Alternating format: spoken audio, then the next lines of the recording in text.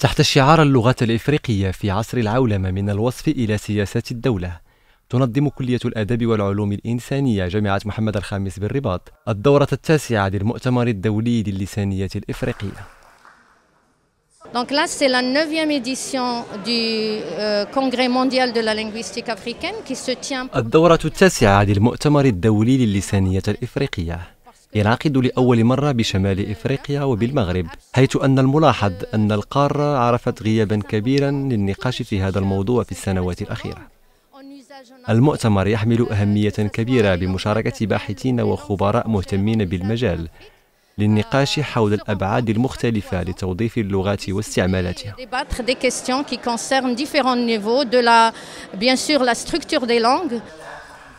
وسيناقش المؤتمر العديد من الإشكاليات من قبيل اللغة الإفريقية في التشريعات والسياسات تلاقح اللغات والثقافات بالإضافة إلى الدراسات الأمازيغية واللغات الإفريقية والتكنولوجيا. فضلا عن موضوع اللغة الإفريقية والترجمة وحضور اللغة العربية في القارة.